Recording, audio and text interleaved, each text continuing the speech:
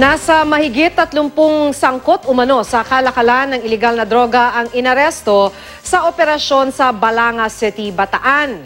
Sa Cotabato naman, isang lalaking nagpakilalang pari, timbog sa buy-bust operation. Makibalita tayo kay Tech Ocampo.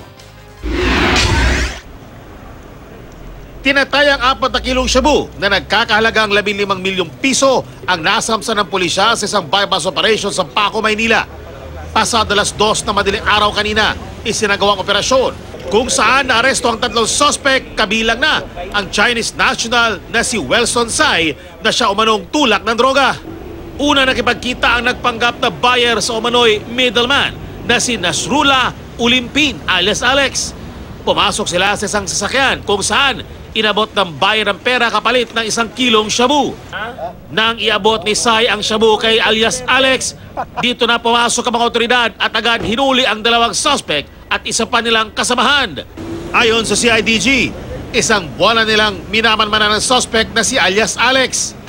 Itinanggi ng mga suspect ang paratang.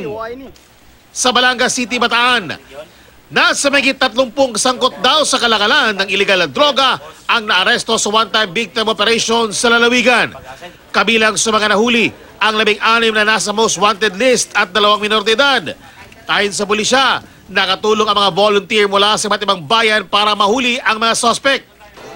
Sa Midsap, Cotabato, inaresto sa bypass operation ng isang lalaking nagpakilalang pari na tulak pala ng droga. Nakuha sa suspect na si John Perolin ang ilang gramo ng shabu. Ayon sa pulisya, matagal na raw nilang minamanmanan ng suspect na ilang beses pa umanong nagmisa sa mga bayan ng Midsayap at Libungan.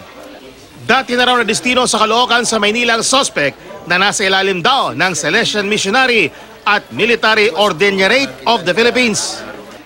Itinanggi ni Ferolin na sangkot siya sa bintana ng illegal na droga. Patuloy na inimbestigahan kung totoong pare ang suspect. Tek Ocampo, Nagbabalita, Pilipinas.